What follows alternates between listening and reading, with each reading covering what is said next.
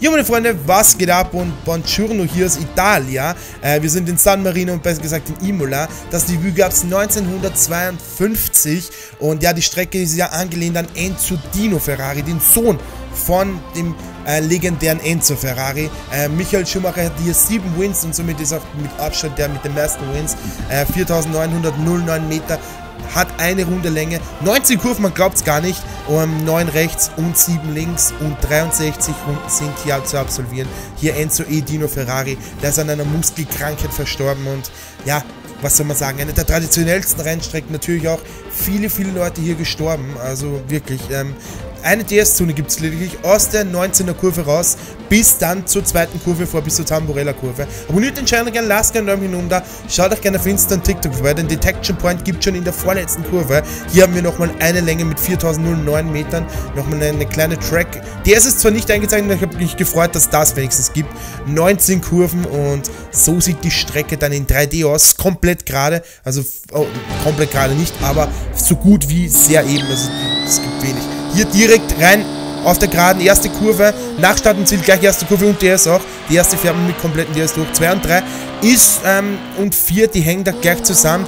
Zack, hier muss man eigentlich immer an den Curbs bleiben und links echt aufpassen. Da ist auch, sind auch ein paar rausgekommen im, im Qualifying sogar noch.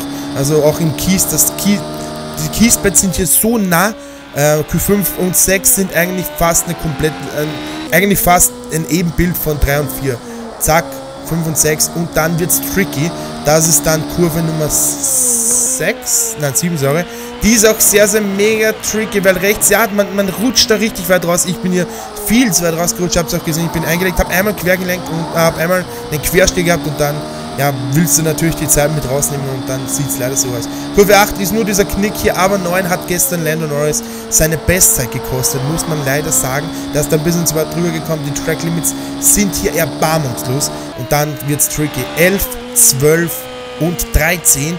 Die Kurven haben sich gestern ziemlich als Trick herausgestellt. Hier hat doch ähm, Bottas einige Zeit verloren. Der, wir werden noch, noch, noch über das Qualifying reden natürlich. Äh, 13, ähm, hier nachher 11 Vollgas, aber da musst du hier einen richtigen Bremspunkt finden. Äh, Im Rennen werden hier die Track Limits wahrscheinlich nicht so hardcore sein. Aber ja, was soll ich sagen? Ähm, dann geht's rauf. Hier könnte man einen Detection Point für DS noch machen. Und dann geht's in Kurve 14 und 15. Da waren links auch die Track Limits eine Riesensache. Und da haben auch die Autos fliegen gelernt in dieser Schikane, muss man sagen. Äh, eine mega coole Strecke, aber mega eng. Und das ist halt auch das Ding hier in San Marino, besser gesagt in Italien. Ähm, oder in Emiliana Romana. So, das war dann Kurve 16 und 17 und 18 sind, finde ich, die trickigsten Punkte überhaupt, weil hier verliert man so viel Zeit also wirklich, ähm, weil du musst echt richtig aufpassen auf die Track Limits. Und das Kiesbett ist auch hier erbarmungslos nah dran. Ähm, also man sieht es auch hier mega knapp dran, das Ganze.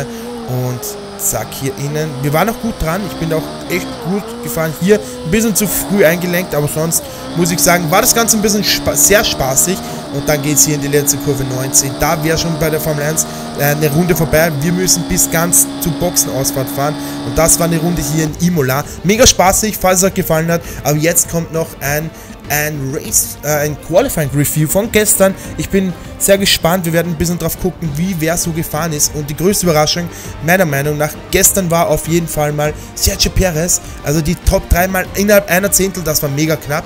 Und man hat doch gesehen, Verstappen hat gestruggelt. Ähm, Perez fast, wenn der dann eine Sekunde äh, irgendwo noch ein bisschen früher aufs Gas gegangen wäre, hätte Perez da die Pole geholt und das wäre echt knapp. Norris war knapp dran an der Pole, aber man muss sagen, da hatte dann ein Tracklimit drin und das hat ihn dann die komplette Pole, nein, Polezeit nicht, aber er wäre auf den zweiten Platz gehüpft. Sehr enttäuschend auch, ähm, Bottas nur auf dem achten Platz, Le äh, Leclerc mega gut, Gasloch wieder weit vorne, Ricardo endlich mal, ja, fast auf Augenhöhe von Norris, weil der nicht die Strecke, die Rundenzeit gestrichen bekommen hätte. Wäre da hinten ein bisschen enttäuschend, dass halt Alonso nur 15. ist, aber es wird heute ein mega spannendes Rennen. Hier sehen wir nochmal den mega Abstand.